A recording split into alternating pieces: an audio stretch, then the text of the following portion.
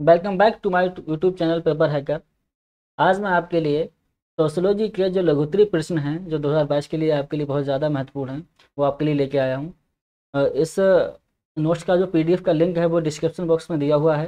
Video अगर आपको पसंद आए तो वीडियो को लाइक करें चैनल को सब्सक्राइब करें। याद रखिएगा ये क्वेश्चन जो हैं लघुतरी प्रश्न, ये 2022 के लिए आपके लिए बहुत ज़्यादा ही महत्वपूर्ण होने वाले हैं। तो क्वेश्चन है हमारा, कि समाजशास्त्र और मानव शास्त्र में अंतर स्पष्ट कीजिए। ये क्वेश्चन आपके लिए जो दीर्घ उत्तरी प्रश्न थे उसमें भी कराए गए हैं, ठीक है? तो ये क्वेश्चन जो है हमारा समाजशास्त्र और मानव शास्त्र में क्या अंतर है? अंतर स्पष्ट कीजिए। ये आज हम इसके अंतर स्पष्ट करेंगे। तो समाजशास्त्र और मानव शास्त्र में अंतर को निम्न प्रकार स्पष्ट कर सकते हैं।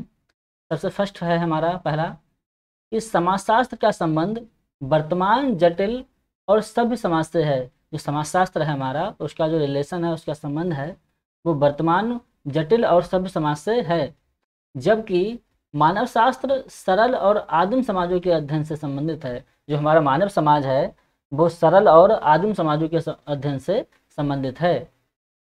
सेकेंड पॉइंट है हमारा, दोनों की अध्ययन पद्धतियाँ भिन्न हैं। दोनों को, दोनों का जो अध्ययन किया जाता है, वो अध्ययन करने की जो पद्धतियाँ हैं, वो क्या हैं? अलग अलग हैं, भिन्न हैं।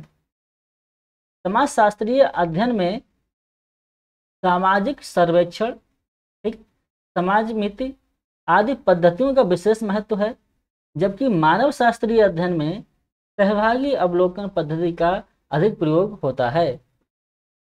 इसके बाद तीसरा पॉइंट है हमारा, समाजशास्त्र एक विशुद्ध विज्ञान है, बहुत ही इंपॉर्टेंट पॉइंट पॉइंट है। समाजशास्त्र क्या है? एक विशुद्ध विज्ञान है, जबकि मानव शास्त्र एक व्यवहारिक विज्ञान है। मानव शास्त्र कैसा है हमारा? कैसा विज्ञान है? मानव शास्त्र एक व्यवहारिक विज्ञान है।